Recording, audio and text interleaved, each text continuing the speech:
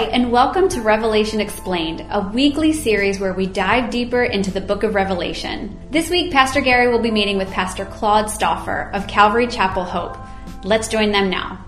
All right. Well, here we are once again, guys. Welcome to our uh, our weekly um, episode of Revelation Explained Plus, where we're plotting, as some of my congregation would tell you, plotting our way through the book of Revelation. We certainly aren't galloping. I think we're trotting, is what we're doing, but glad to be here. And um, we've enjoyed a variety of guests and various people speaking from a variety of backgrounds. But one of my favorites, and uh, absolutely one of the guys that that is a go-to. I, I I used to call him regularly, and I felt like with that restraining order that was put out on me that I probably should stop doing that. But once again, we've got um, Pastor Claude Stauffer here with us, and uh, Pastor uh, Claude is up there in Long Island, and uh, he wrote this wonderful, beautiful series uh, on the Book of Revelation. And I, it is a frequent read, and let me tell you, anybody that gets this will not be disappointed, but will be thrilled by it. it I, I've said it all along. It holds the heart of of the theological truth, but it also holds the heart of a pastor. And uh, I would highly recommend it to anybody, whether you're a full time pastor, part time pastor, wannabe pastor, lay person, uh, to get his series right here on the practical revelations from the revelation of Jesus Christ. Two volumes. You can get it on Amazon. I would highly recommend it. Claude, how you doing, my friend? I'm doing very well. Thank you. It's nice to be back. I thank you for inviting me, and it's always a pleasure to uh, talk with you and share with uh, share the practical practical application of the Book of Revelation. You know, it's Amen. always an awesome time. Amen. And um, and you have certainly been, as I stated, and I don't mean that in a high with hyperbole. You have been one of my favorites, and uh, remain that. And uh, listening to you teach over there in lovely Israel, any um, uh, you know, as we look down the line, you know, I, I have a sneaky suspicion the next time we're in Israel will be um, in the new, uh, well, not in the new heaven, new earth, but will be uh, when Jesus Christ comes back and we come back with him. Could very well be then that we get. Well, I'll settle for that. I mean, listen, look, you know, none of us can give a tour like Jesus could give a tour. Yeah. Right? You know, what I mean, yeah. so I'm happy. I'm happy to have King Jesus giving us a tour around heaven. That's all I can tell you. But um, we're here to talk this week, and as you've been, uh, as you know, the sort of the format of what we do, it's kind of loosey goosey and uh, just looking. You know, I, I talk to various people about their views and their ideas, and um, we're in chapter 19. We we have made some progress, believe it or not. We are in chapter 19 of the book of Revelation, and um, a fascinating, fascinating book. And just to kind of set it up a little bit for those people that are tuned in and watching this on our YouTube channel. Um, 17 and 18, of course, 17, we see the fall of religious Babylon, you know, the ecumenical coexist uh, mentality of, of what we're already seeing laid out in the church now. Um, I, I think that we're, we're way down the line towards that mentality. And then, of course, in chapter 18, we're, we're in the economic, political, worldwide one government system. And we watched the judgment brought on both of those systems. And, um, and then we come to chapter 19, and that's what we're going to discuss uh, tonight, or today, I should say, is just that. And that is, um, that is post uh, judgment on Babylon. So let me just start off asking this question there, Pastor Claude. When you look at the, when you consider Babylon, do you look at Babylon as a, um, as more of a, I heard one person say, listen, the best way to describe Babylon is just saying the world's systems, the way the world does things. Do you believe in physical Babylon also, or do you believe in just kind of the spiritual Babylon? Well, I don't. You know, uh, sometimes it's not. Uh, sometimes it's not an either or. You okay. know, I think I very, I think very, I think the um, there might be the rise of the literal uh, city of Babylon in the end times. You know, um, uh, Saddam Hussein. Uh, you know, before he was executed, yeah. before all the stuff came down. You know, then this is about twenty years ago. You can imagine. Um, you know, he he was in the process of of rebuilding Babylon, and um, you know, it's still a it's you know it's an archaeological site. I don't know that it'll ever reach what it once was, but I I do lean though to as being more of a world right. system that that is that is the outgrowth of the Tower of Babel, where really where you have the proliferation of um, world religions, you have the um, divisions of the people, the the um, the uh, you know division of language, and uh, really when you begin to look at the Tower of Babel, right? You Really, it's really a um, you know when you when you when you you know when we talk about sin right when when we talk about the origins of sin we think immediately to genesis chapter 3 mm-hmm. right but really uh, when you look like uh, I, I, if you're familiar with Michael Heiser, hmm. who's an ex, excellent uh, Bible teacher, really mentioned him before. Absolutely. Yeah, if, if you want to read a really good book, The Unseen Realm by Michael Heiser, he's really a scholar, but he talks in a way that you can understand, and uh, which is really a gift. Let me tell you. Well, I'm I'm, um, I'm a Dr. Seuss guy myself, so yeah, if he can rhyme it, and but anyway. Yeah, I don't, I'm not going to be rhyming today, bro. Right, there um, you go. but he, he, what he says, he says, if you were to talk to a Jew and, and the origins really of sin, really the three events his, in the early history uh, of of Scripture, you know, the the fall in the in the Garden of Eden, but then also you had the flood in chapter mm-hmm. six, and then the Tower of Babel in chapter three, and really, chap or chapter three, chapter eleven right. of Genesis. And really, in in in in chapter eleven of Genesis, you have kind of like it's kind of like um, bureaucracy begins, or the the system the systemic uh, proliferation of sin in the world. You know, it begins you know with false religious systems, false governmental systems, and all of these things, and it just goes from there. Everything else is traced back back to there where where you have this kind of um, societal rebellion against the Lord in at the Tower of Babel. Right. You know? So, um, good. Another good book is uh, Alexander Hislop's The Two Babylons. I know some people look at that book as being a little bit antiquated, but sometimes the best books are the antiquated books, the old books. A lot of the new stuff is kind of cotton candy ish. I'll and, present um, to you Genesis and Exodus and Leviticus and Numbers and Deuteronomy. They're all older books, but they're very yeah, yeah. relevant, yeah. right? Yeah. yeah. I um I I'm fascinated by um you know, and as we were going through it, I'm fascinated by Babylon just because of what you're saying, and that is, you know, the groundwork that was laid there. I, you know, I spoke to my congregation about it, and I said, you know, it's interesting, isn't it, that that you know God had created and did the things he did, and immediately Satan kind of created the counterpart. And the concept of that, of course, is by the time you get to Jerusalem, and, and you know, we see Jerusalem mentioned throughout the Bible. Well, um, Satan has his city, and the city, of course, is Babylon. The the mentality of Babylon. Yeah. And I concur with you. I, I think it could be a physical place, but I don't I don't know if that's the importance of it as much as it's just the idea of it and what it stands for, and um, looking at both you know the economic or the one world government, the one world religious system, and all these things that it that because in the judgment of it, you know, through 17 and 18, yeah. you, you really see it being exposed for what it did, that it led people astray and that that the world loved these places, you know, love not the world. Well, loving the world seems to me that it's almost falling in love with Babylon, you know? Yeah.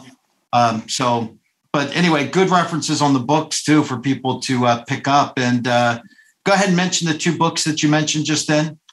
Um, the Two Babylons by Alexander Hislop. Okay. That's the older book. And then uh, really um, The Unseen Realm by Michael Heiser. Now, that was really his first book where he really began to be popular. He's written a number of books, I think one on angels, one on demons, uh, but he's written a number of books. And they're they're there's it's perfect. He, he writes in a way that's a really a perfect balance of scholarship and understandability. You gotcha. know, so so and he's really um, I like him because he's very inductive in the way he approaches oh. scripture. Right, he does not he does not um, he does not find determine his beliefs and then go to scripture to try to superimpose them on scripture. He goes to scripture. He lets scripture speak. And so he really um, you know he really uh, clarifies you know what is based on scripture and what is not. Yeah well and it's really really important. Well not to not just to blow smoke or anything but it it's that reminds me a little bit of your of the commentaries on the book of revelation that you wrote. They're they're just wonderfully written. But anyway, um, chapter 19, then by the time we get to 19, Claude, if you could sum up chapter 19 of the book of Revelation in a sentence or a short paragraph, how would you sum up this chapter then? Well, I would just say, uh, I would just say it's it's it's the final. Uh, well,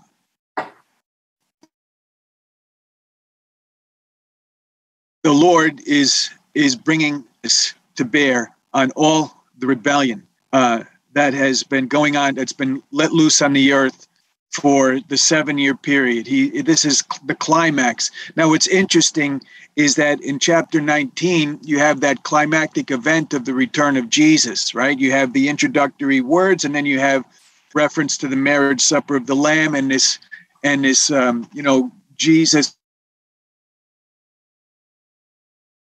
coming, vanquishing his foes. It's kind of like it's an interesting climax to this book because from chapter 19, you have the climax in chapter 19, which is the second coming of Christ. Chapter then into chapter 20s, you have the establishment of God's kingdom on earth, the thousand year reign of Christ on earth. You have the great, then you, you move into the great white throne judgment, and then uh, which is the final judgment, and then you have the the uh, the the the introduction of the new heaven and the yeah. new earth in chapter 21 so it just it's kind of like this incredible chapter 19 20 21 and 22 four chapter climax to god's prophetic plans you know and it's just uh i mean it really is so you can't really point to one of these chapters and say it's yeah. climactic because it just it's like you know it's like with the lord you know like in ephesians chapter 3 he says Paul writes, He is able to do exceedingly abundantly above all we ask or think. It's like bang. Jesus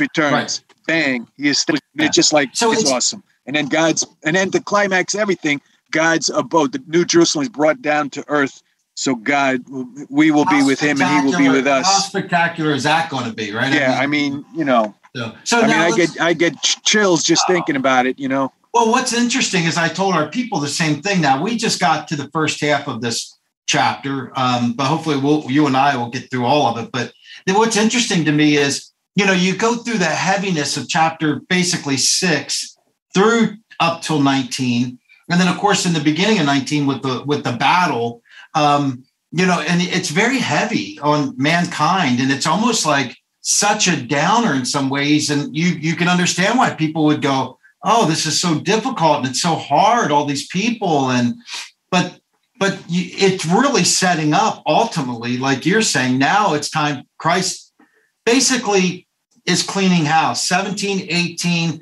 and even in 19 uh, the, you know the armies that train their guns or turn their guns Christ is really cleaning house, is what he's doing. He's saying, you know, basically it was enough. The contrast 17, 18 to 19, there's such a contrast that once you look at 19, you're you're just blown away. And that's why even in the first few chapters, you know, after these things, I heard a loud voice, a great multitude in heaven, and they were saying, Alleluia, salvation, glory, honor, power belong to the Lord our God. True and righteous are his judgments. He has judged the great harlot who corrupted the earth. Of course, that's Babylon. Uh, and he has avenged on her the blood of the servants that she has shed, you know? Now, all of a sudden, it's like this you're watching this movie and the you're, you're watching the good guys just get take it on the chin and they seem to be getting beaten and everyone's killing off these tribulation saints. And then bang, that's it. You're done. And Babylon goes into judgment. And then we see this beautiful, wonderful contrast because on earth they're weeping, right? They're watching Babylon destroyed, but in heaven they're rejoicing greatly. Mm-hmm. It's powerful. Yeah, it's it's a it's an incredible portion of scripture. And interestingly, the word Alleluia occurs four times in the New Testament, and all four times are in this chapter. Right. Yeah. Okay. You know? And it's and it's and it's an expression. It's a it's a um, it's a uh, like a, a stepsister to the word hallelujah, which we're more familiar with. But hallelujah means, you know, praise Yah, praise the Lord, you know, right. and it's just uh, an incredible, incredible um, portion of scripture here. And, you know, you have to understand really, and, you know, we see when we look at today, you know, we just had an election yesterday, right? So, and I, from what I'm from initial reports are that it seems as though there's been uh, some changes on the for the good, which is a good thing. But you know, no matter what, no matter what governmental system that we have, right, right, whether it's you know a federal republic, democracy, socialism, you know, capitalism, socialism, communism, totalitarianism, empire, you know, whatever it is it's all going to fall short. Yeah, that's right. Until Jesus is crowned King of Kings and Lord of Lords. Yeah. Right? I mean, that's until a government like we like, you know, pretty soon it'll be Christmas. We'll read Isaiah 9, 6. The government will be upon his shoulders, right? So what you have is you have the fulfillment of that here. So that's why there's such an exclamation of worship and praise to God. You know, I mean, it just these words are like, man, just so encouraging, you know, and for the Christian, this is part of what gives us hope is we know what the final chapters are. You yeah. know, and that's yeah. that's so important, especially when things seem to be um you Chaotic. know, go, going to hell in a handbasket, yeah. as some might say, you know. That would be a book to write right there, right? Yeah, um, absolutely but you're right, and I think I think what we're seeing is is the fruition, the the the the the, the coming of this. And you know, I'm, I'm a dispensationalist, uh, unabashedly a dispensationalist, and I think the dispensations teach us that mankind just cannot rule themselves. We're just incapable, no matter what it is, what the system, like you're saying, you know, whatever ism you follow. Uh, the truth is, it's all it all ends up as humanism until there's a theocracy, until God is ruling and reigning, and and you know, starting with the throne in Jerusalem. But anyway, uh, so we see because in verse two it reminds us, true and righteous are His judgments, right? So right. you know, we we have never in this world. I don't care if you're an Abraham Lincoln guy, a Ronald Reagan guy, you know, whoever it is, you laud as as the great, great politician, statesman. Well, listen, no one's ever been true and righteous in all their judgments and, you know, and, and been able to do the things that we're going to see coming. And so, obviously, again, you know, always fair, always righteous. And this is what 19 unveils right up front. Bang, guys, finally, finally, you're seeing the truth of all these things, uh, which, which to me is is mind blowing. And of course, you know, by the time we get to the end of all these things, you're going to see once again in the millennial reign anyway, mankind just can't deal with it because unregenerated man is still going to rebel against it. Yeah. Now, there's another aspect on top of this that where God brings victory. Um, for instance, when you look at Daniel chapter 2, verse 43, and Daniel is being given the interpretation of the of the the feet of that giant image, yeah. 90 foot tall image, the iron mixed with clay. Yes. There's an interesting phrase uh, there, an interesting comment uh, in verse 43 of Daniel chapter 2, which talks about the seed being mingled with men. Right. right? Yeah. And, um, you know, Jesus said that in the latter times, right, the last days, that would be as in the days of Noah.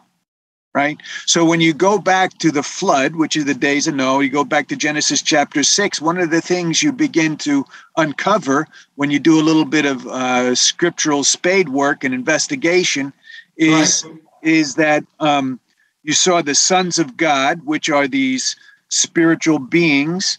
They lusted after the daughters of men and they took them for right. wives and they and they tried to basically tried to make their own kingdoms and in the process like for instance if you look at some extra biblical sources what they say is that these beings all right these beings actually uh, introduced all kinds of occult practices yeah, magic right. all kinds of all kinds of um, carnal types of things and if and G, so what I'm the point I'm trying to make is Jesus said that these latter days would be as the days of Noah. So we're going to see a spiritual element, right, in all of this too. So it's not merely the Antichrist, it's the Antichrist that's powered by the devil, right? It's yeah. a it's a false prophet who is also powered by the devil. And you see in, in chapter nine, for instance, you see the pit opened up and these locusts, these demonic beings come out and you see you see the frogs right in chapter 16 the frogs right. um, which are which are symbol symbolic of demonic influences too so so all of these these hordes of nations and kings and antichrist and false prophet all of these rebels all of these who are defying the lord all that are trying to destroy his people right they're vanquished in chapter 19 so it's on just on a on a horizontal plane, but also be, beyond that, it's, it's all this darkness, all of this demonic right. is just vanquished by the Lord, squashed, you know, stomped. You know, in Romans 16, verse 20, uh, Paul was inspired to write, and the God of peace will crush Satan under your feet shortly. you know, Paul, you know, that, that's really speaking about Revelation chapter 19 Wow. That's where that's where it's happening, you know. You think about you think about uh, it, it really reminds you when you go in I think this text in 19 is perfect to remind you of the tale of two cities. And I think that the kingdom of Babylon and and the idea of pristine Jerusalem, the idea of what Jerusalem will be. And I think you see the contrast between what what will be the kingdom of our God and what is the kingdom of this world and the philosophies, and you find out who's behind it. Because you brought up so appropriately, like for instance, all the demonic activity that's in this world that right now we still are only getting glimpses of. Once the Holy Spirit's pulled out of here, and all this spiritualism will be revealed, and I believe all starting and, and being perpetrated out of sort of this Babylonian mentality uh, you're really going to see that stuff coming to a forefront. People will be terrified. People will be uh, terrified to the part where they want to die. Uh, but then one in one fell swoop, man, God's going to destroy it. Is what He's going to do, which is pretty interesting. We see uh, in verse three there that there's another alleluia that's going to rise up because the people are going to see that the smoke of Babylon will rise up forever and ever. And I take that as more than anything else that that the the destruction of Babylon will be total and will be eternal. Uh, never Babylon will never the philosophy, the mentality, the uh, the auspices of what Babylon is will never be seen again, destroyed. And it's yeah, sort of what I mean, we're talking about. It's going to be, you know, um, if you look at the end of Revelation chapter 20, at the beginning of Revelation 20, it says that the devil is chained, right? And restrained. Yeah. He cannot influence the earth for a thousand years, right? But at the end of that thousand years, it says that he is one last time let loose. Why? Because there will be people that are birthed in those pristine sure. environment of the of the kingdom who you know they need to they need to be they need to be experience their probation or their um their temptation to test their faith, to see who their allegiances truly are for, you know, with the Lord or not. And some un, un, incredibly, when you think about this, some incredibly right. will are, will be susceptible to the temptation. And one last time at the end of Revelation chapter 20, um, one, that one last uprising will be squashed. And then devil, antichrist, false prophet, and all who have rebelled against the Lord, they will be cast into that to that lake of fire. And you know, that's another thing, bro. Um, you know, in in much of the woke church or in much of the progressive church, um, or much of the used to be called seeker friendly church, um, you really didn't hear a whole lot about hell. You wouldn't really speak about it because it was right it made people feel too uncomfortable. Sure. And um, you know, I'm not a, I'm not, you know, I don't preach, turn or burn, you know, uh, but you know, the scripture, Jesus spoke more about hell than he did about heaven. Yeah, right. And so, you know, it's part of the gospel. Really, if you if you cut the if you cut hell out of the gospel, then why why is there a need to be saved?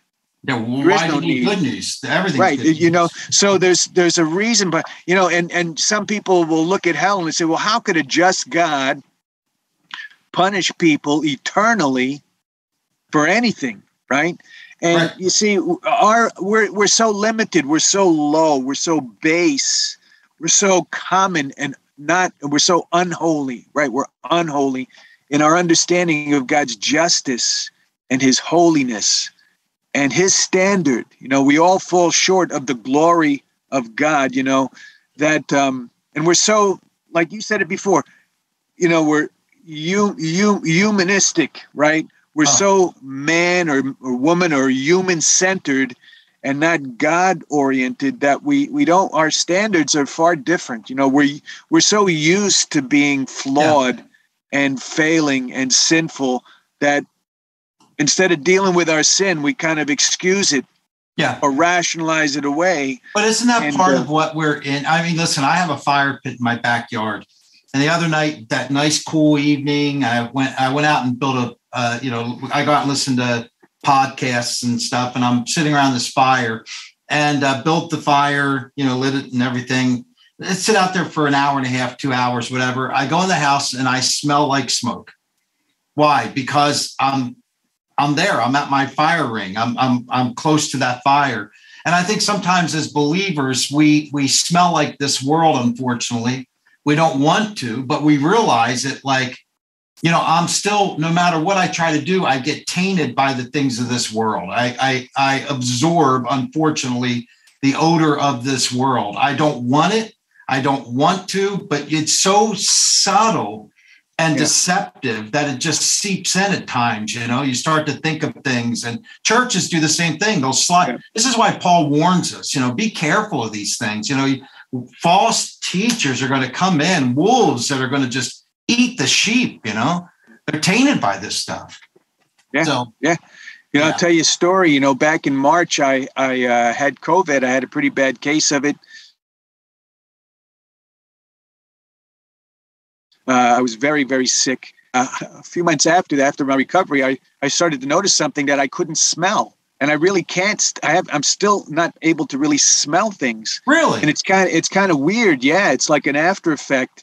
And um, you know, so what happened? What I can remember going to get gas for my car, and um, you know, some you can smell. Usually, you can smell a gas. Gas is a very you know yeah. strong aroma, but I couldn't smell it. So I went one time and I and when I took the the hose out of the car, evidently I spilled some gas on on myself. And you and didn't even realize not, didn't even realize. But when I came into the house, you know, my wife was saying, "What you stink? What did you do?" You know, and and and I said, "I'm sorry, honey." That's you know, when you wish you lost your hearing. yeah, but you know, it's like that. It's the world, right? It's the world. Sometimes, yeah. as we live our lives, you know, we we kind of you know we pick up these these unholy aromas. It's like getting you know you walk on, you get tar on your shoes and you drag that in. You know, this dirt, this filth, and it's only you know that's where that's where the blood of jesus comes in you know cleanse us you know the have a fragrant aroma yeah you know cleanse cleanse us from all of that point it out to me holy stuff. spirit what is what is it that i'm that i'm eating porridge for for my birthright what am i what am I what am I engaging in that you know somewhere along the line the Holy Spirit is so loving and gracious that you know the Holy Spirit points these things out. But I, I guess the only thing I'm pointing out there is you know I think sometimes we can be seduced into things that we we have to constantly be before the Lord. I love this chapter because it points out that in heaven they have great clarity. So they see all this with yeah. great clarity. They understand what this is about. They're saying to us, hey, you know, we're rejoicing because we understand how deceptive this system has been. We understand how destructive the world has been. If you'd like to hear more on this topic, our previous services are always found on our YouTube channel. Please consider subscribing so you can stay up to date on all of our content. The church would like to once again thank Pastor Claude Stauffer for joining us this week. Be sure to join us on Sunday either in person or on YouTube with our live stream service at 9:30.